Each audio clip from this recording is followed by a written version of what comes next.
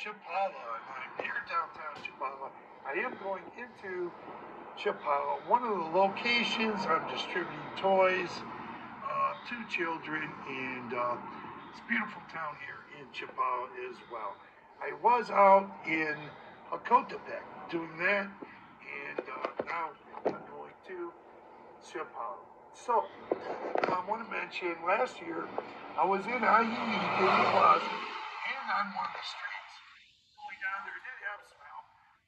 Mexican resident, uh, and uh, he's a nice guy. One thing I want to say is he did uh, get offered some help with this from a woman friend of mine, but I told her to just relax and enjoy the evening. Uh, I'm going to go out here again by myself and uh, do this. Uh, enjoy giving gifts to the Mexican children.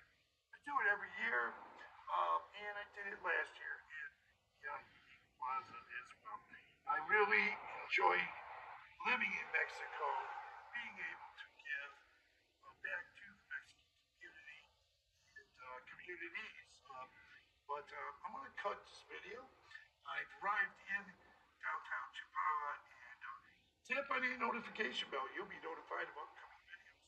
Thanks for viewing. Adios, amigos.